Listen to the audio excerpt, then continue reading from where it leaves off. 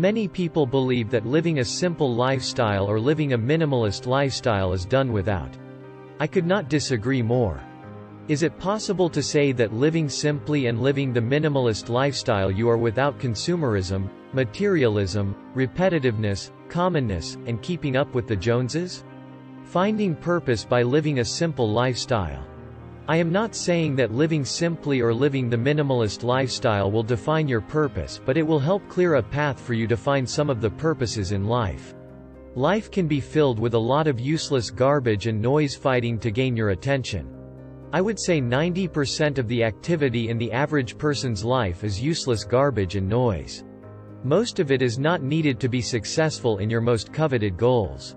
Living a simple lifestyle helps you to focus and block out that useless garbage and noise that permeates life in most societies. People that are living simply become laser focused on what is really important to them and acquire the ability to suppress useless wants and desires.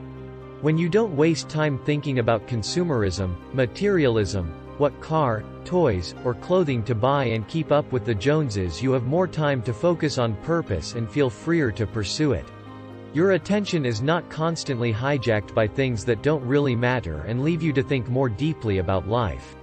This becomes more commonplace in the life of the person that is living a simple and minimalist lifestyle.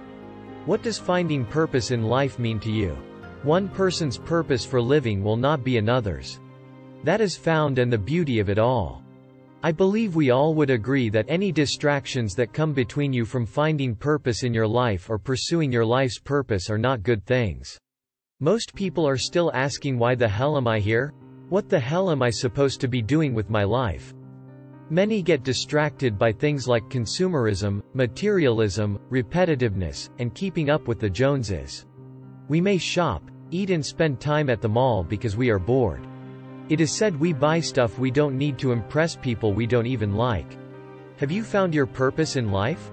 Are you still looking? Are you even looking? Do you even care? Are you happy with the latest toys and apparel and the mall as your purpose? Does living a simple or minimalist lifestyle helps you find purpose in life? What does finding a purpose in life mean to you? Thank you for stopping by. Click like and bang on that subscribe button.